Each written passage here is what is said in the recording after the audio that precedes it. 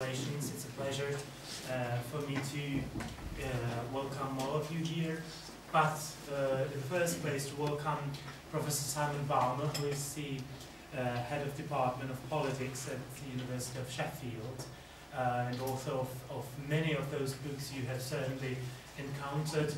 Also in our library here at the Institute, like the um, uh, European Union politics and many of the books you certainly are familiar with. Uh, today's lecture, the, the, the title of, of the uh, lecture today is Germany and the Eurozone crisis between hegemony and domestic politics. Uh, as you know, Professor Bulmer has been dealing with this issue for, for uh, even his dissertation thesis, if I'm not mistaken, uh, already dealt with that issue. So, so it's a um, uh, not the Eurozone crisis. Not the Eurozone crisis yet at that time. I'm not that young. Okay. um, uh, so, uh, without ma uh, uh, much ado, I will just pass the floor to Professor Baum, and then, of course, as you know, the usual format of our meetings is that first we'll have a, a uh, talk by Professor Baum, and then we'll open the the, the um, open up the discussion for your questions and comments. So, please. Okay, thanks very much, Peter, and uh, thank you for uh, inviting me and giving me the opportunity to speak about uh, my research, for which I get relatively little time these days as head of department, where I'm uh, managing student admissions, my colleagues, and all that kind of uh, stuff. Uh, it isn't as serious, though, as the Eurozone crisis, which is the subject I want to talk about. I I think you should have received a paper that I circulated that had a rather different title, alluding to a, uh, a hit record in the 1970s, which may be of no significance to you. I'm going to uh, give this the subtitle Between Hegemony and Domestic Politics because what I'm emphasizing in this paper is the contrast between the expectations placed upon Germany as the, by now, number one clear leader in economic terms in the European Union and the domestic constraints, which if anything have increased of late with politicisation and so on, uh, and which make Germany's capacity to provide a solution to this difficult crisis more difficult. Um, so uh, I'm going to divide this uh, paper into, uh, I think, six parts, although I notice I've got a part with, uh, there's no number four, so maybe it's five parts. I've obviously renumbered something there at the last minute. Uh, but what I want to first of all um, uh, talk about, making sure that we diagnose the Eurozone crisis correctly, because I think we need to know what it is that has to be resolved in order to know whether Germany can contribute to its resolution. Uh, it's commonly seen, of course, as a sovereign debt crisis, most obviously uh, in the Portuguese and Greek cases. Uh, sorry, I'm forgetting the top technology here. Where do I point this over here? Just anywhere.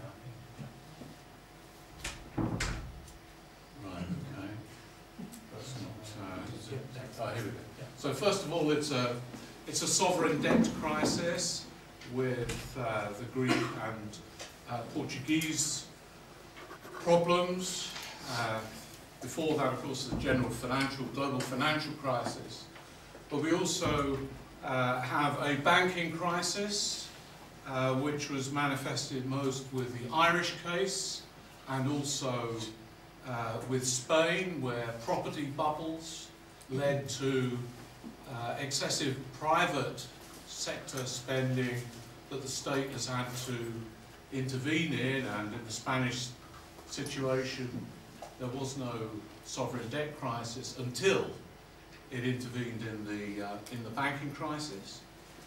Uh, there is of course in the longer term the need to create economic growth because if all the cuts in public expenditure associated with austerity follow on uh, indefinitely, uh, we'll never generate enough economic activity to uh, make it a virtual cir virtuous circle rather than the vicious cycle that it is uh, at the moment. I think there's a, a fourth crisis, which is a leadership crisis, a political leadership crisis in the European Union. Who is it exactly? You know, we used to have a question in, in my younger days about European foreign policy, the so-called Henry Kissinger question. Who is it that I get on the phone to to find out what the European Union is doing? Now here we have uh, a different kind of crisis. Who is it in the European Union who is solving the Eurozone crisis? Is it uh, the chair of the Eurozone group? Is it the President of the European Council, the President of the Commission? Is it Angela Merkel? Uh, I think the kind of concerns that British Eurosceptics had uh, way back in the early 90s at the, times of the, the time of the Maastricht Treaty about you can't have monetary union without political union have manifested themselves in a different kind of way in the sense that nobody seems to be taking charge of finding the solution. Nobody is there who can get ahead of the financial markets. Uh, so there's a political leadership crisis. Probably in southern Europe in particular, there's a legitimacy crisis. Who is it that's agreed to imposing these conditions upon us? Uh, and finally, we haven't got enough crises already, just wanting to make everybody look uh, really happy on a Tuesday afternoon, there's a kind of architectural crisis. Do we find the solutions uh, to the problems in the Eurozone uh, or in the European Union? And of course, if it's in the European Union, then Britain becomes a bit of a problem, perhaps not only Britain, since we're here in Prague. Um, uh, and the fiscal compact, I guess, is, is part of that story. So is the Eurozone becoming the hard core of European uh, integration?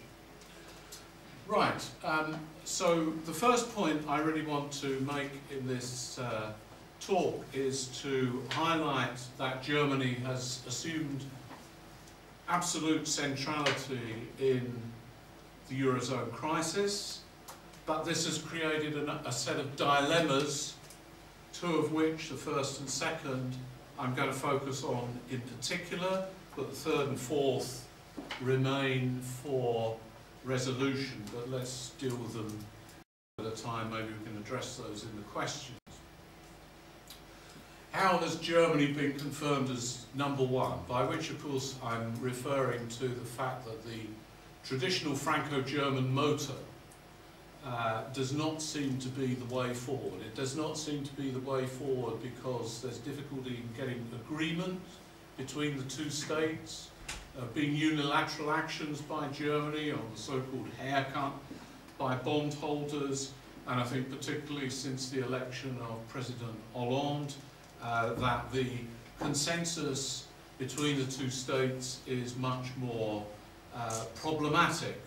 Uh, so it appears that the Franco-German relationship has weakened and at the moment does not appear to be the uh, basis for uh, finding solutions.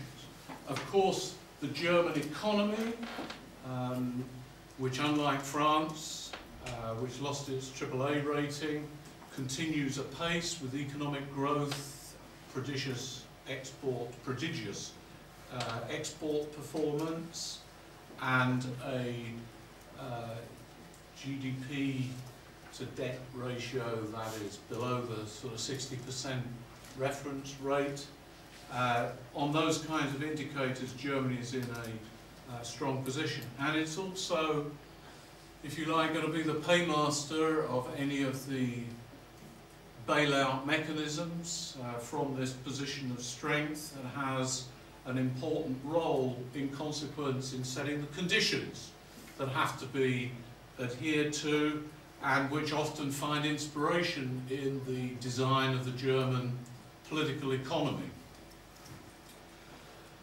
Uh, however, uh, uh, well, sorry, I'm getting ahead of myself here, and in addition to that, um, there are other, the other member states, because of their economic weakness, uh, they have limited leadership capacity.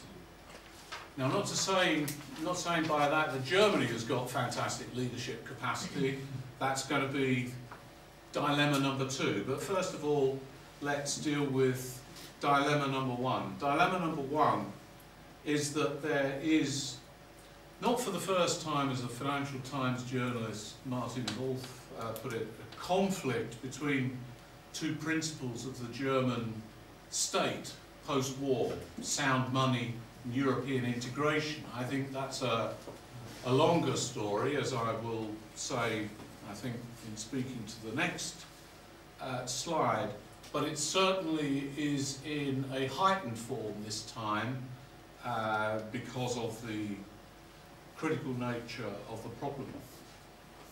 So finding a way in which Germany can offer solutions to the Eurozone crisis that are consistent with its sound money approach and at the same time wrap them up in more European integration is a very difficult uh, act to put into practice. And it's a particularly difficult put, uh, act to put into practice due to the second dilemma of the German position, which is that it has uh, a position of economic hegemony in the European Union, or the Eurozone in particular, but that is unmatched by either aspirations to or conditions to pursue political hegemony or political leadership, for reasons I'll look at in the slide after next. So this raises a number of further dilemmas. Should it depart from the tradition for the last 40 years at least of German European policy of doing everything jointly with France and go solo, which of course raises sort of historical concerns, the Alleingang of the past? Or should it try to work harder at finding a compromise with France, which might of course compromise its sound money principles? And the final dilemma is uh, trying in this world of swift events and unforeseen consequences not to delay so much that it might risk the Eurozone's breakup and its ability to press for further European integration, which might take the whole enterprise forward as part of a broader solution to the Eurozone wrapped up in further steps or steps to further political integration. So let's look at the first dilemma, the one between sound money and European integration. I look at this first of all, uh, well, principally around about history, but coming up to the relative present, and then we'll look at the tension between economic hegemony and political leadership.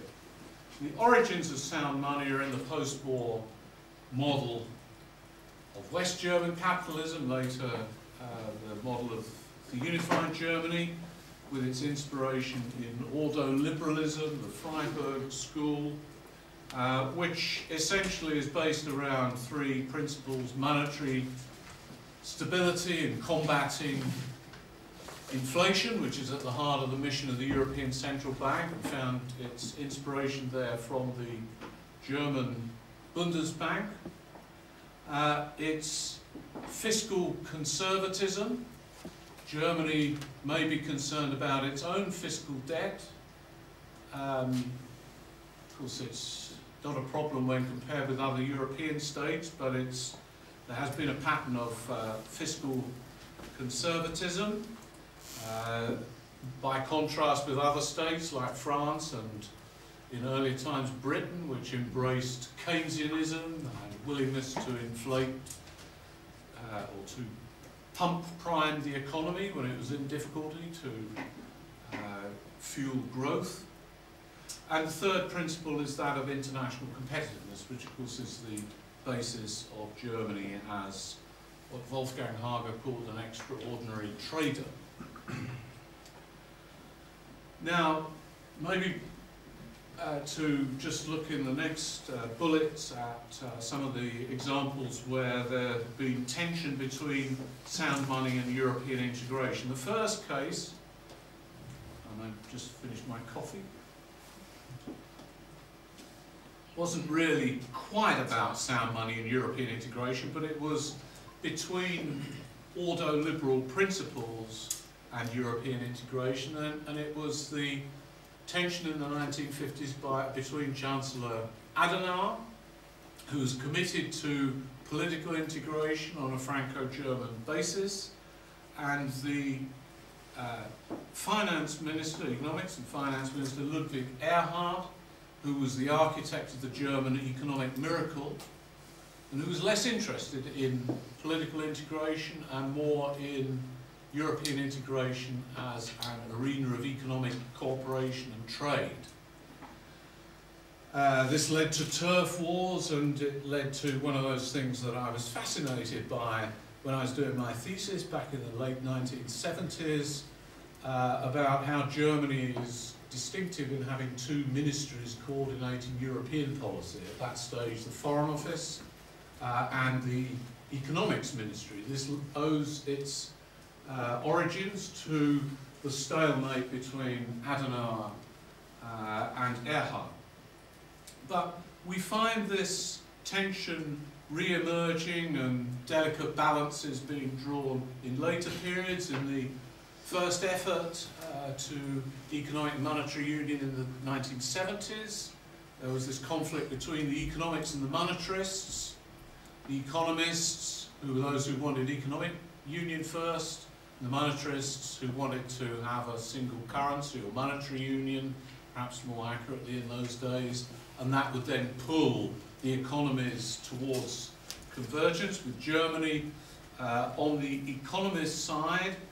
Uh, I don't think there were advocates in Germany at all of the monetary position of going first for monetary union, but nevertheless there were those who saw integration policy as a priority and the balancing act within the EMU negotiations was the idea of parallelism in the Werner report of that, uh, that period.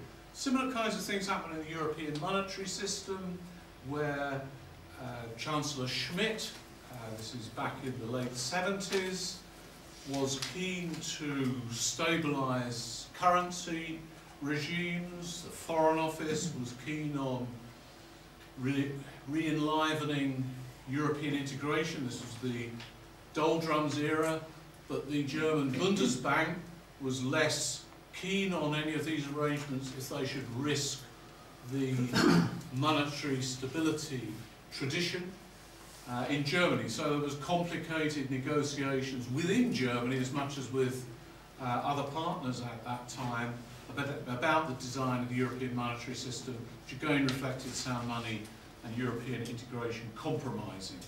Now with EMU, uh, which uh, the design of which is by Germany, uh, if you like, to put it crudely, but with, with Helmut Kohl's leadership in the sense of pushing for further integration to bind the reunified Germany into the European political system, we find this again. The design uh, is essentially about the convergence criteria, debt ratios, public spending limits, and so on, that were written into the Maastricht Treaties, the entry requirement, later backed up with the Stability and Growth Pact in uh, 96, led by uh, Theo Waigel, the then CSU uh, finance minister. On the pure monetary side, the Bundesbank was very influential in shaping the statute of the European Central Bank. So Germany was reassured about its sound money policy by having its sound money policy translated to the European level, but with a political overlay from Helmut Kohl that this was all part of designing a deeper European Union, as it then became, a European Union with a political union counterpart on foreign security policy, justice and home affairs. So it's somewhat ironic then, of course, that when it comes to uh, the mid-2000s, uh, we have Germany, along with France, as one of the states that actually breached the rules that Germany had instilled into the design of EMU. Uh, and uh, unlike Portugal and Ireland that have been censored, censored under the uh, excessive deficit procedure, for France and Germany it seemed to be all right to break the rules. And of course, that leaves, we don't hear much about that now.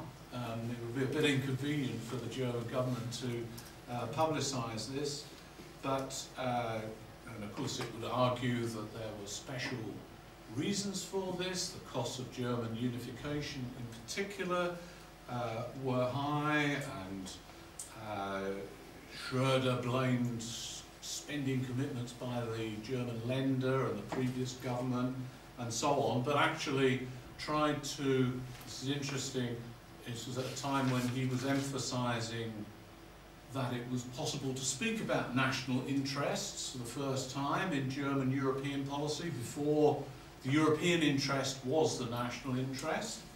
And uh, he was quite willing to defend interests, and this entailed breaching the Stability and Growth pact. Of course, public support for these sound money principles is quite high, and we can find that in the uh, at the time its opposition to giving up the Deutschmark or reluctance to give up the Deutschmark in the opinion polls. So if we move on a bit more to the um, uh, European integration side of the equation, trying to balance this, balance out this dilemma,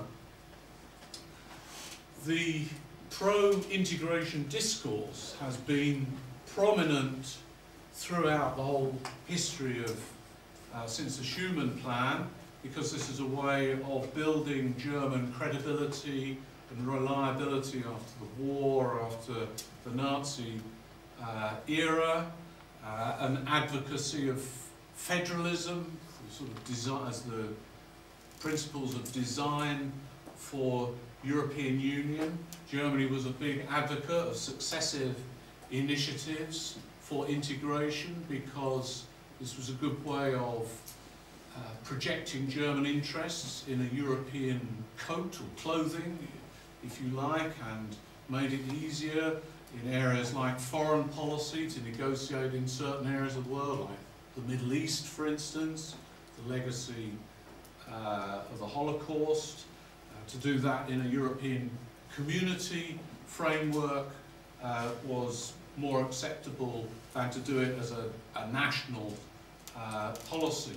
And the Franco-German uh, relationship, or motor, uh, was the vehicle for most of these integrationist uh, initiatives, whether the European monetary system, the ideas behind the Maastricht Treaty, and so on. In all of this, Germany was very strong on its tactics, uh, sorry, on its strategy, because it was able to rely on cross-party support.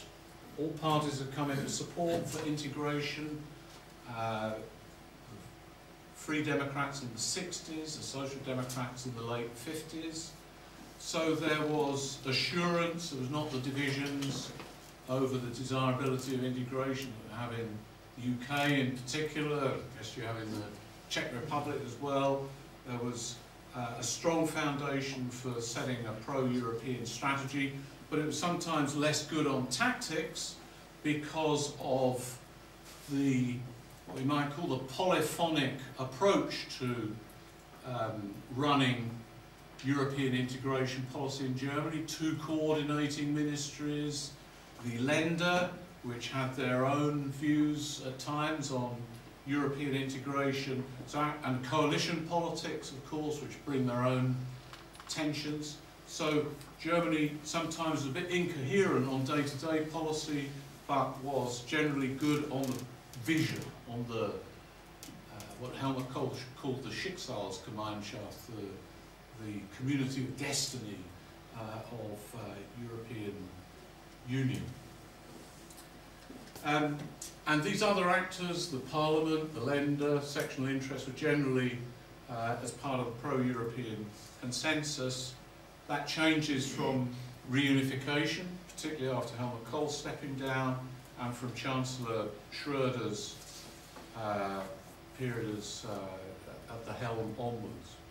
So that's the history of this. Now what I'm going to do is turn to the next dilemma, and I will continue the sound money and European integration, I hope, as I, as I do that. And I'm going to uh, now look at the dilemma between Germany's position as an economic hegemon, uh, data on that in the paper, um, and the domestic constraints of internal politics, and also the role of the Federal Constitutional Court increasingly, uh, that restrict the ability for Germany to live up to that. Uh, I mean, it's a new version of the sort of economic giant political pygmy view that's been long, uh, long held. I don't think it's a political pygmy, incidentally. That's uh, going. I think we've passed that uh, that time now. Now, um, hegemony is. Uh, it says up here is has got two characteristics, domination and leadership. I don't think we're dealing with domination here because clearly uh, the European Union is designed to avoid domination. So I don't think that's an option, but it's worth bearing in mind that it's one definition of hegemony. Another is, is leadership. Uh, you might ask whether economically Germany is uh, dominant, but politically uh, it clearly isn't. Now, in the academic literature, uh, in the 19, from the 1980s onwards, uh, this idea of hegemonic stability theory uh, arose in the USA, which was built around the idea of the United States as leading the Western world through a set of financial and political institutions, the uh, Bretton Woods system, the uh, NATO, uh, and so on. And it's associated with benevolent self-interest, providing public goods and the use of soft power, uh, not just guns and military hardware. Uh, that is a theory that would be an interesting one to apply to Germany's role uh, in the European Union. Does it amount to, or the Eurozone, does Germany amount to the sort of guarantor of the collective system?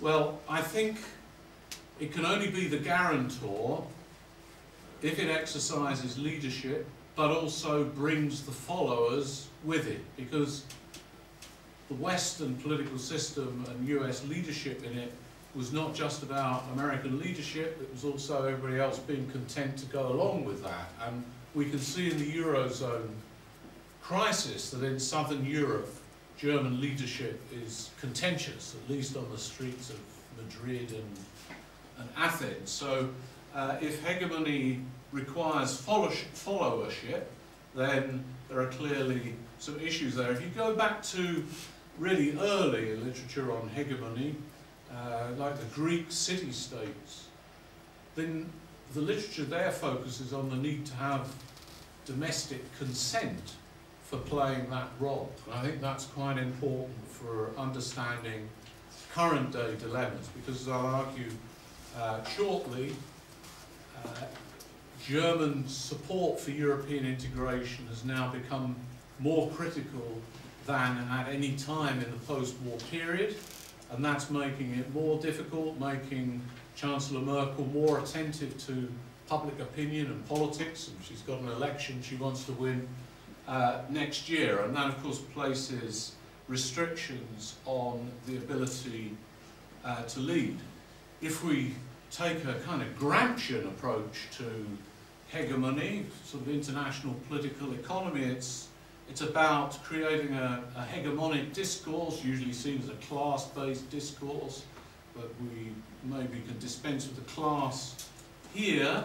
And I think, in a way, there is a, a kind of hegemonic discourse, whether it has the followership behind it is another matter, and that is a hegemonic discourse around austerity, which derives from the sound money principles to which Germany naturally refers back when it's trying to tackle uh, the European uh, Eurozone crisis.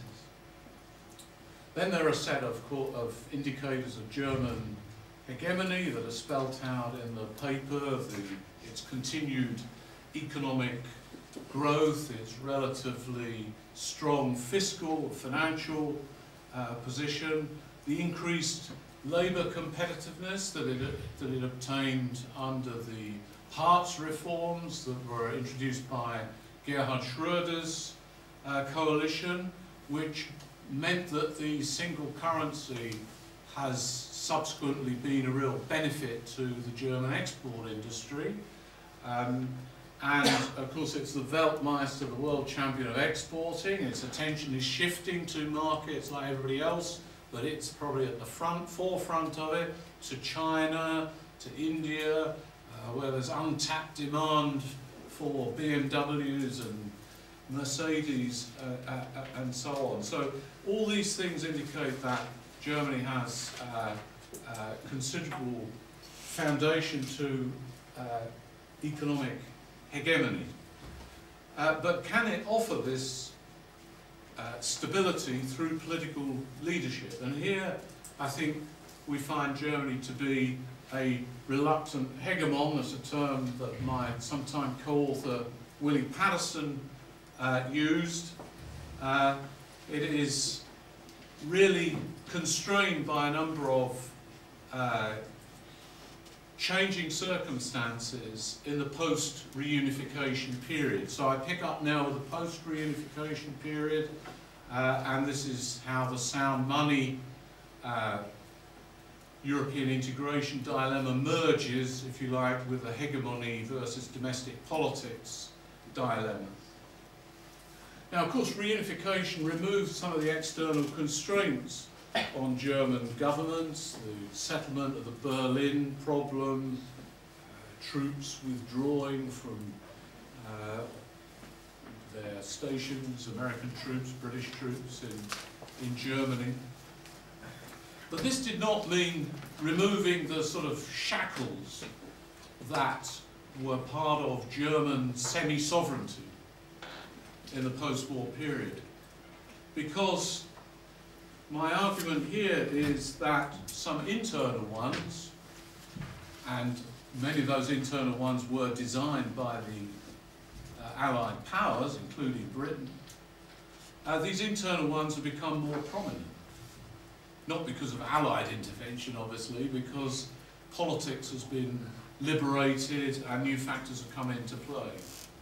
And new factors like generational change, the wartime generation really came to an end, crudely put, with the uh, election of Gerhard Schröder in 1998. So the kind of cultural commitment, an identity of commitment to European identity, European integration, has declined as uh, the generations have changed, and we have then a situation of less love for Europe uh, at elite level, uh, exacerbated intermittently by coalition politics, for instance, the tensions, uh, if we look at the Eurozone uh, crisis, both the CSU and the Free Democrats have been critical about aspects of a solution. The Free Democrats are opposed to a transfer union. The CSU in Bavaria are um, also opponents of that and uh, when I was in Bavaria uh, in September Uh, Angela Merkel was lobbying for more solidarity from the CSU for the Euro, Eurozone problems because of the need to find a a solution. So I think this is all part of the way in which Europe has become less of a matter of hearts than it was originally and more about, more in the character of British European policy of making rational calculations about interests. And sound money is one of those interests. Uh, there's an increased salience of and attentiveness to public opinion I think this is particularly clear uh, under the government's led by Angela Merkel because it's not her instinct to lead from the front, but to weigh up the options, to pay attention to public opinion, and only at a relatively late stage make a decisive intervention when she's uh, sorted matters out. We saw this, for instance, uh, when was that? In May 2010, I think, the North Rhine-Westphalian election, when uh, decisions were delayed, uh, and she failed to secure a governing majority in North Rhine-Westphalia anyhow, so you end up with the kind of worst of uh, both options. And there has also been uh, signs of growing party politicisation, not just in the coalition that I've mentioned uh, a moment ago, uh, but there have been occasions where there have been divisions in the Bundestag on votes relating to uh, the Eurozone. Uh, of course, it remains in the hands of Die Linke, the successors to the East German Communist Party, for the outright opposition to European uh, integration. But dissenting voices have become uh, more prominent, and I, there's some data here on votes at times in the paper on Eurozone solutions. Further, there's the fairly sensational debate in the uh, red top press about pension entitlements to uh, in Greece uh, or uh, Mario Draghi's interventions uh, in the debt markets as writing a blank check uh, implying this is German money so on. So this has created um, an atmosphere that's ripe for uh, more critical views in the, amongst the political elite. But particularly important here is the role of the Federal Constitutional Court. Um, its intervention really came firstly with the Maastricht Treaty ruling, uh, where it made stipulations um, that, for instance, when the step is taken towards a single currency, there has to be an explicit vote in the Bundestag. And we've seen this repeated, for those of you who are historical institutionalists, the Federal Constitutional Court goes back to this principle. It appears every time there is a challenge about the compatibility of some new stage of integration with the German constitution, so with the Lisbon Treaty, the idea that uh, you, some areas of competence could be transferred to the EU without a new uh, treaty. So again, there has to be an explicit vote in Parliament to make that step. This is all consistent with a view that the member states, the member governments are the so-called masters of the treaty, the, Herren der Verträge, a very intergovernmental view, rather different from the tone over the longer term of German governments and political parties, which are more supranationalist. Uh, so not only is there this critical tone introduced into the political debate, making uh, the government more cautious for fear of challenges before the, the court, and there were challenges over the uh, financial stability facility and the European stability mechanism, a ruling, the last ruling in uh, September, which said it was legal, but every time you increase its size, you've got to have an explicit vote in the Bundestag or in the Parliament. Now, each time you open up uh, an arena for potential party political contestation, so with the political atmospherics, coalition tensions, at some stage in the future the risk is there that actually we almost move into British or dare I say Czech circumstances where you've created an arena for those kinds of divisions and, and maybe an emergent Euroscepticism uh, in Germany.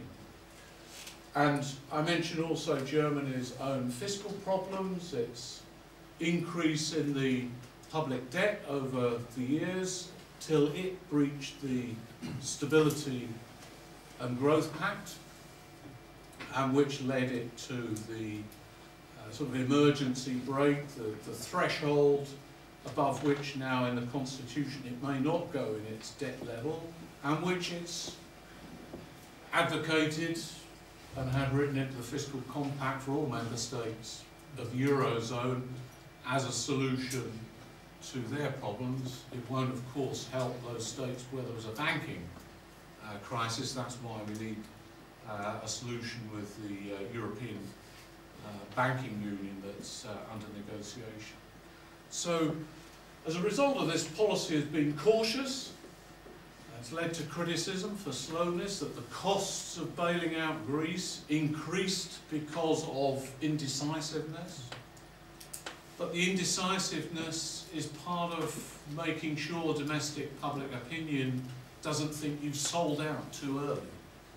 So trying to face both directions in the maelstrom of the financial markets is, is a difficult um, uh, position. And the solution has been to impose uh, sound money for recipients of the bailout money, uh, and I refer again to Germany's balanced budget uh, rule. And this, of course, has been seen as economic hegemony in southern Europe of, perhaps even political hegemony of uh, imposing upon uh, those states uh, solutions which are unpalatable, that are causing misery, and at the same time, over the longer term, may actually uh, create a, a vicious cycle from which there is no clear exit. So, to conclude, uh, Germany has developed a, uh, a really successful model of political economy in the uh, post-war period. That's how we've got to economic hegemony, but its in domestic institutional structure is not conducive to swift decisions, to leadership. It's reliant on building consensus and under Merkel to paying attention to public opinion, particularly with the run-up to next year's election. We may expect more dramatic action perhaps after that election, assuming she's re-elected. Uh, economic hegemony, in other words, has to uh, coexist with uh, the constraints of domestic politics at home and internationally with the issue of its acceptability in southern Europe. And this is where, in particular, any notion of France moving towards a pro-growth approach, or as the leader of southern Europe, would be a real difficulty in find, present real difficulties in finding a solution to this uh, Eurozone crisis. So, weighing up sound money in European integration, weighing up hegemony and domestic politics is possibly an option or feasible, but it then does lead to two further dilemmas where we get into a bit more of a uh, speculative mode here, and that is whether the moves that are currently underway, uh, being thought about for further integration, whether those moves can enable a new step in European integration, most likely confined to Eurozone countries, while also tackling the Eurozone crisis. So almost going back to the earlier period of uh, German European policy where integrationist steps hid German interests, if you like, because they were dressed up in a pro-European rhetoric. Can we get back to that? There's not really been anybody speaking in pro-European rhetoric since uh, Joschka Fischer in 2000 uh, with his Humboldt speech that uh, launched, in a way, the convention uh, on the future of Europe. And can Germany really find a way of an accommodation with France, which has been the key way in securing advances in resolving dilemma number three. So, um, Germany in the Eurozone crisis, between hegemony and domestic politics, we have uh, the sort of uh, writ large the Chinese proverb, we live in interesting times. Thankfully, I'm not in the Chancellery in Berlin trying to grapple with all these issues, which of course is a big contrast with David Cameron, who sits in London trying to ignore all these things or blame them for the failure of the British economy to grow and tackle all its domestic, uh, uh, its own domestic financial problems. And for the answers, I think we have to wait to 2014 when that next federal election is behind us and a bit more political Spielraum, sort of room for manoeuvre, uh, is available. Thank you. Thank you very much.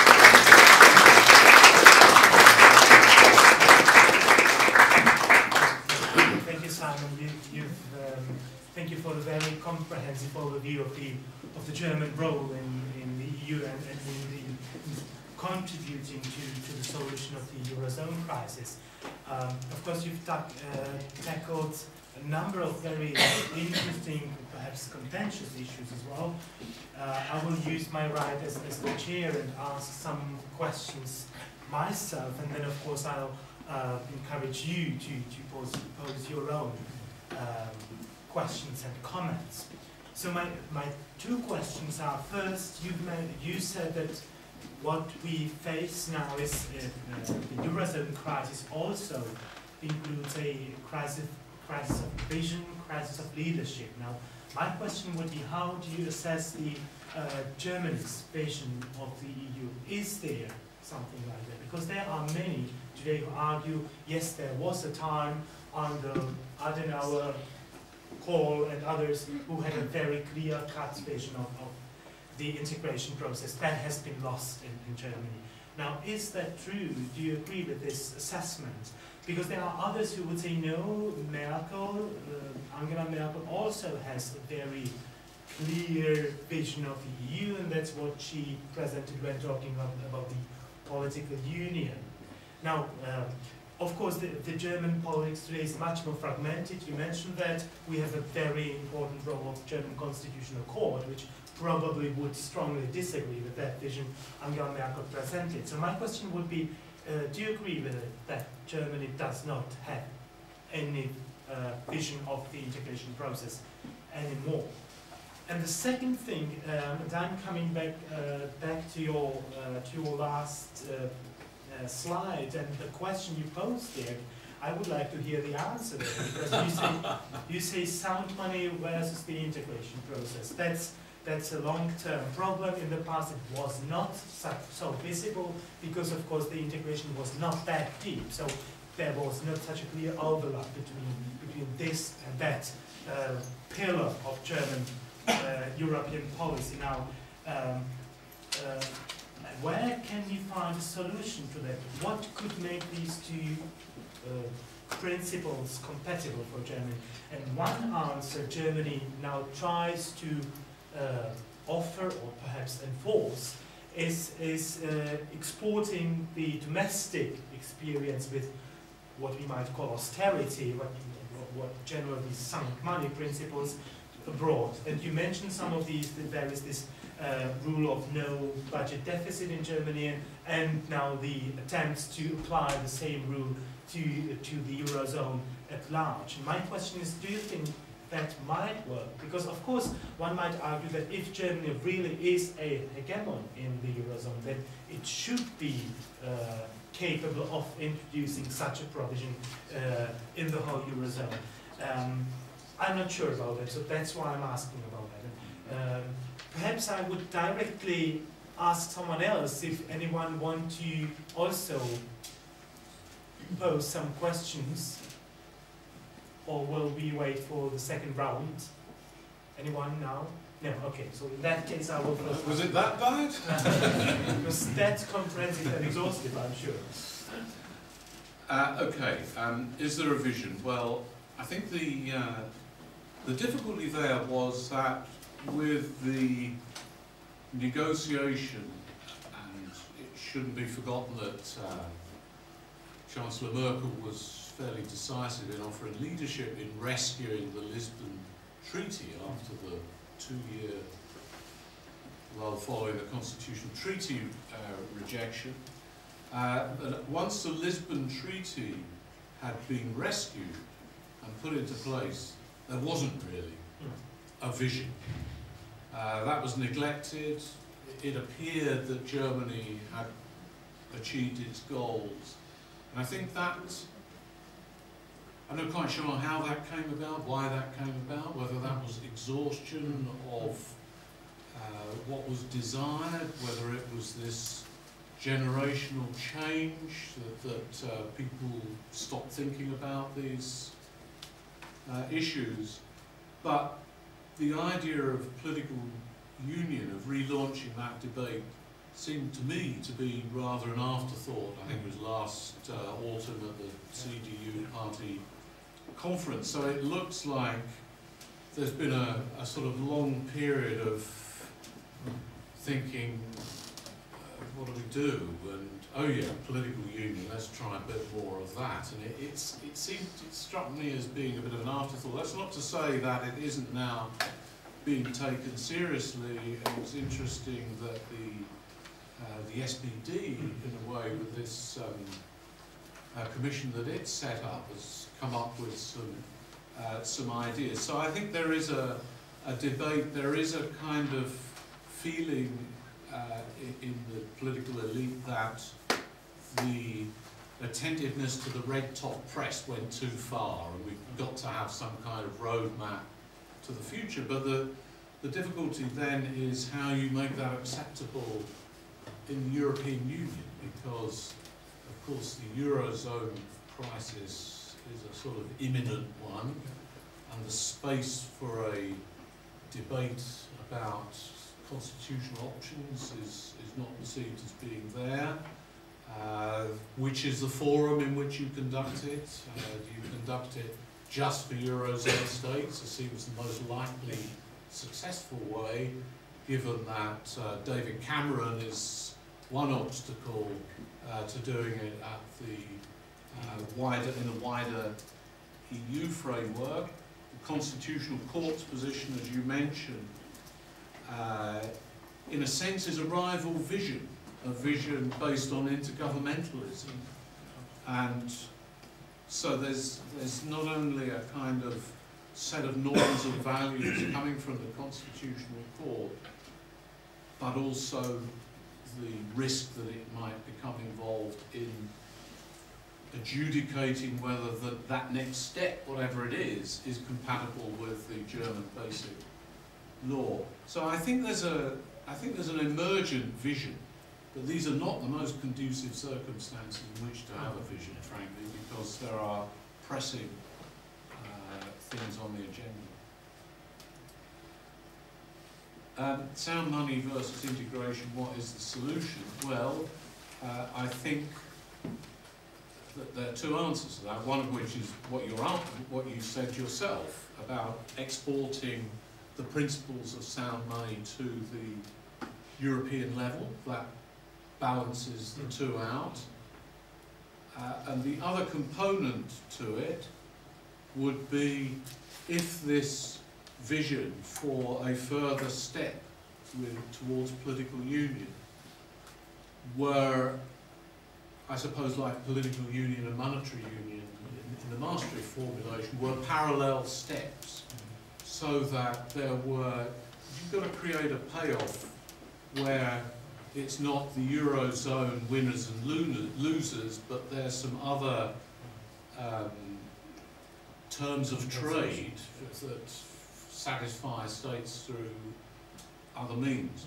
It is exceptionally difficult to achieve that where we have a, a period where domestic politics in individual member states is at odds with domestic politics in other member states.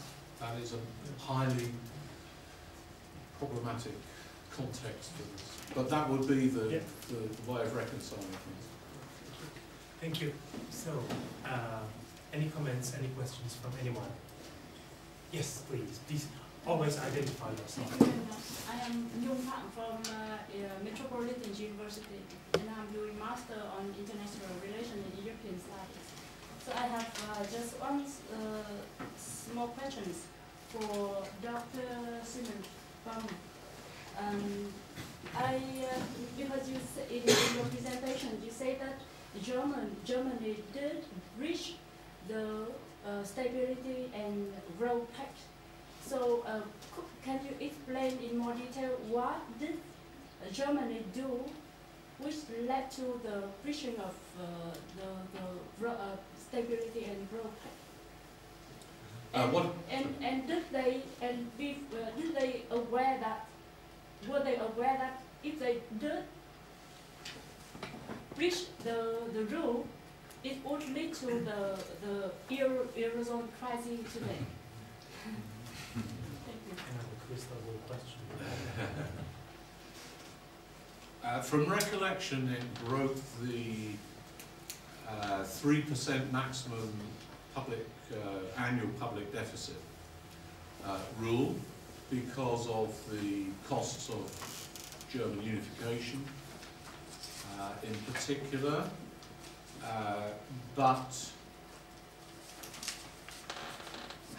I mean that was a difficult scenario to deal with. What did you do? Say, sorry, you've got to stop this public expenditure on the new Länder? Would have not been very sensible. And at that time, and France was also in breach, uh, at that time there was a general feeling that the pact was a bit of bit silly. You know, there's a quote in the paper from uh, Prodi, the president of the commission, saying that the rules are not very sensible. So it's interesting how opinion changes over time.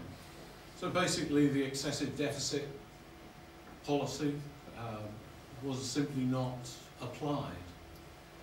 Now, I don't think that um, led to the eurozone crisis. I think it's a separate, uh, a separate issue, but it means that Germany can't occupy the complete moral high ground uh, without forgetting a part of history when it was also in a, uh, a position of breaching those rules. And of course, in 2005, I think it was the Stability and Growth Pact was redefined in a rather looser manner, so it wasn't actually quite as rigid as it was before. So, you know, I, I don't think you can draw too many conclusions from Germany breaching the Stability and Growth Pact uh, because, you know, starting with the Greek sovereign debt crisis and the special circumstances of having had official statistics manipulated, these were very special circumstances, had nothing to do with uh, what happened with the uh, Stability and Growth Pact back in the early 2000s. Um, so, it did breach them, that was the reason. It does not occupy the moral high ground, but there's no causal link with the Eurozone crisis in view. Perhaps uh, related to another question I wanted to ask, and that's the proposal by Finance Minister Schäuble uh, about the currency commissioner, who would have, of course, with the support of, of Merkel, uh, who would have the right to uh, control the budgets, basically national budgets, and, and even sort of return them back to the national governments of those who, who, who break the rules. Now, of course, thi- this should be a replacement of the old uh, problem. So do you think that might be applicable? Or is it something that's absolutely, even, I'm not, not, I'm not talking about the Euro- European Union as a whole, I'm talking about the Eurozone. But is such an idea uh, conceivable at all, or is it absolutely unacceptable for some Eurozone countries at the I think it's, um, I think it's more acceptable Hmm. than a situation where Germany might be seen as monitoring the budgets of the other Eurozone states. I remember there was some rumours in the press that in Berlin people were going through the Irish budget. Uh, now, the idea that Germany rejects the Irish budget, you know, they're also, we've talked about a democratic deficit in the European Union, but I mean, this really would be political hegemony. Uh, so, in a way, this is exporting sound money to uh, a commissioner in Brussels, but it has really big implications for national sovereignty. And I don't think the debate has gone far enough to see whether people are prepared to accept that. Although I suspect some sort of rules like that have got to be, some tougher uh, measures have got to be found. Otherwise, we could be back to a sort of modern day equivalent of breaching the Stability and Growth Pact. So, uh, what, what do you think about uh, about the role uh, in in in this um, crisis? And uh, uh, uh, is it possible to say that, uh, let's say, her vision of the European Union uh, um, as uh, to be to be uh, a political union, uh, it's it's workable? Thank you. Thank you. Okay, let's uh, work in reverse order. Uh, Merkel's uh, position, I mean, I mentioned about how she likes to take a measured approach. In some ways, I sort of thought of her as a better chancellor of the Grand Coalition, where she had more diversity of opinion to weigh up before uh, intervening than perhaps in the early period of the uh, Eurozone uh, crisis. I mean, she has tried to take this measured view to appear as Mutti, as they call her in Germany, the sort of mother of the German uh, electorate, if you like, to carry the electorate along with her, which obviously is important for the re-election prospects. Uh, of course, there's a lot to play out in terms of the electoral cycle.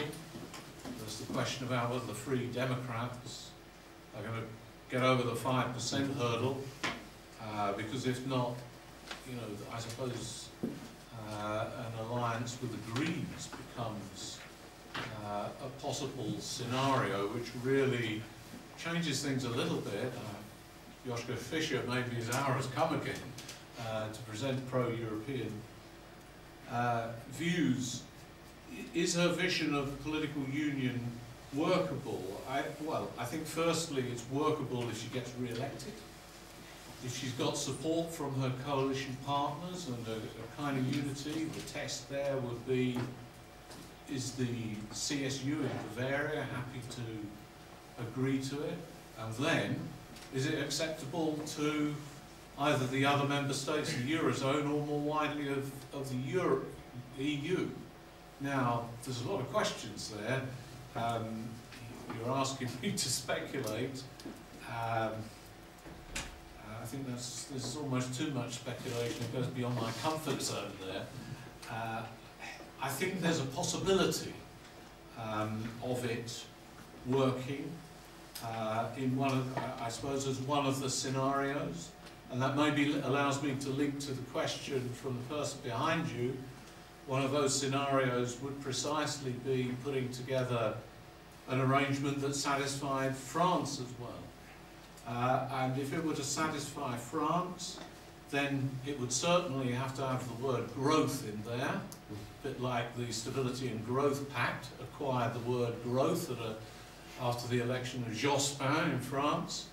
Uh, but there are options for doing that. I mean, we've forgotten, I think, about the Europe 2020 initiative. Uh, remember, there was the Lisbon strategy for the Euro European Union to be the most competitive zone in the world economy in 2010. Whatever happened to that, folks? Uh, now it's 2020, but maybe some measures to make that more concrete within whatever the budget settlement has been meantime. might be a way to get Hollande on board as part of a package where it's not just about the Eurozone, but it's about wider political vision, growth, and so on. And in order to get there, we've got to avoid crises, probably for the next two years. Merkel re-elected, things go quiet, the financial markets, find somewhere else to get interested in, Britain maybe, um, I hope not, but uh, you know, somewhere else where th there's a crisis, maybe the fiscal cliff in the United States, uh, and the circumstances then enable a, a more longer term debate that's looking at the future rather than constant firefighting, who's next to need a bailout, uh, and so on. I mean, so I think that's the positive scenario that links your uh, two questions. Of course, there are other scenarios that the politicians can't keep up with the financial markets and Greece has to leave.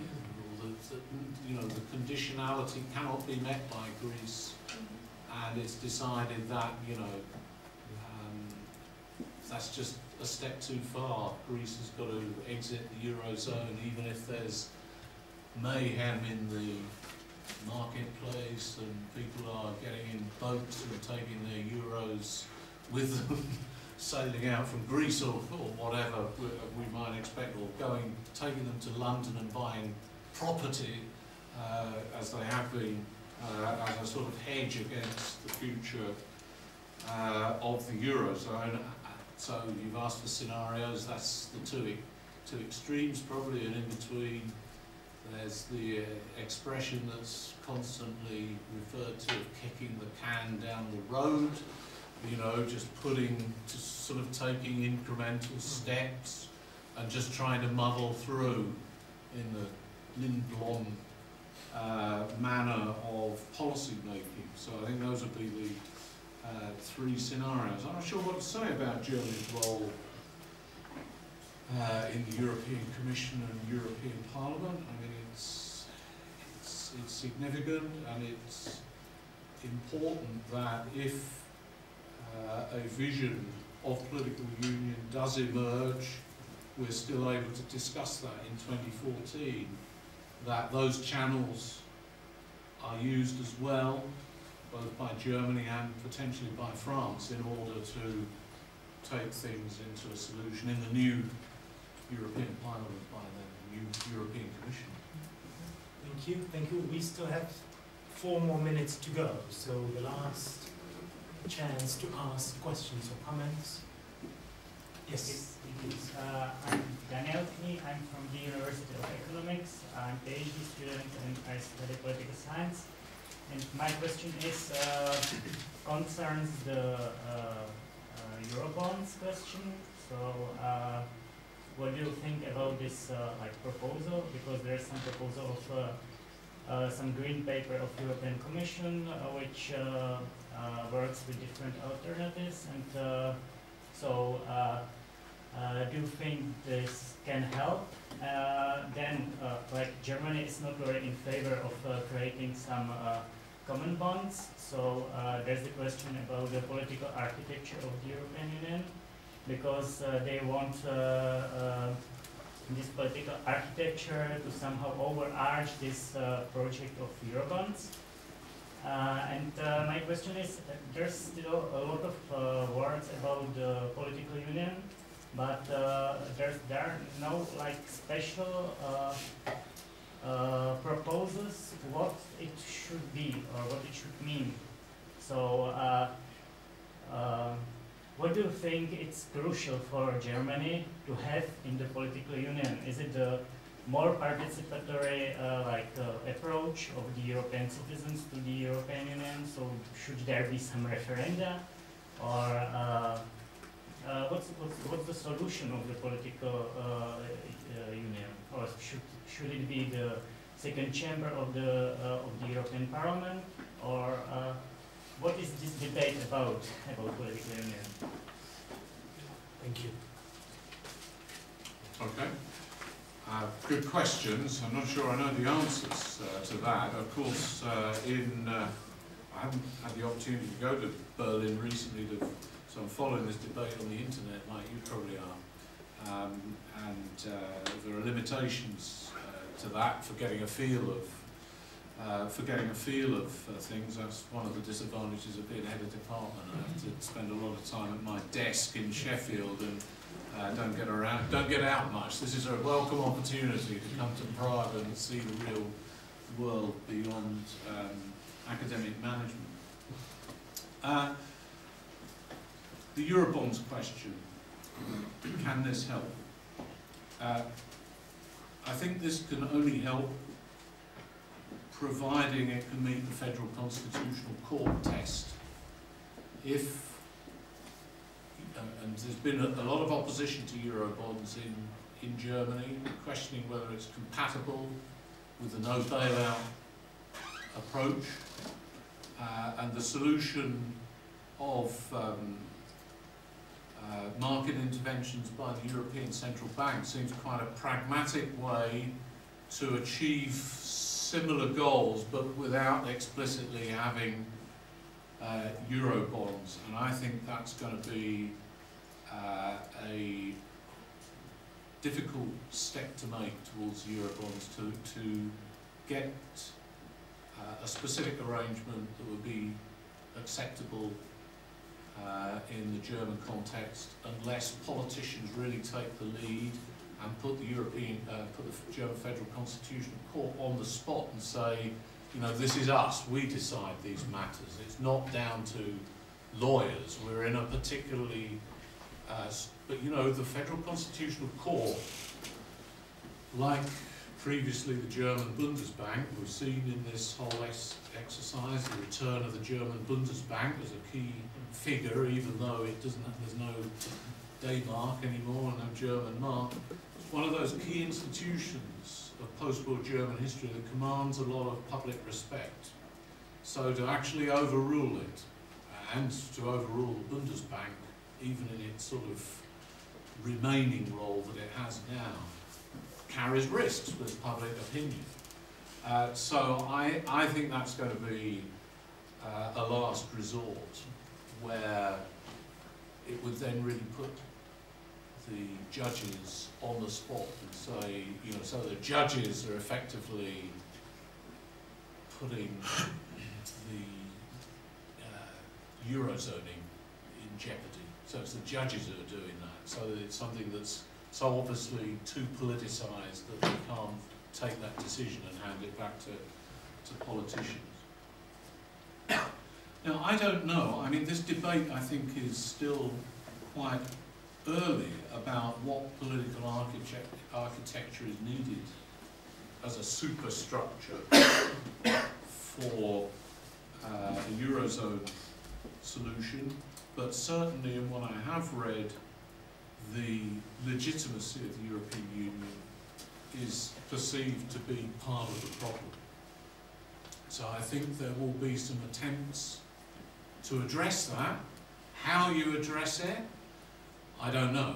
I mean, I've been teaching the legitimacy and democracy of the European Union long enough in all sorts of solutions about institutional reforms, but constantly turnout at European elections seems to go down. The creation of a European demos has been challenged by the Eurozone crisis because everybody's thinking domestically, they're no longer thinking European white, so the demos is, is less present than ever. So I don't know quite what these, I'll be interested to see what these proposals are going to be that offer more participation that address the legitimacy problem. Um, think tanks in Berlin and the political parties, I hope, are working on the case right now, but I don't uh, see what the, the, what there is to offer on that front, I have to say. I'm a bit of a pessimist on that front, but I come from a Eurosceptic state, even if not a Eurosceptic myself. So. We do, as well. Yeah, well, of course. I'm in good company. All right, thank you, thank you, Simon. Uh, of course, we are happy to, to help you get away from your desk, and we are extremely grateful for you, to you for, for sharing your views about the German role in the European Union with us. So again, please join me in.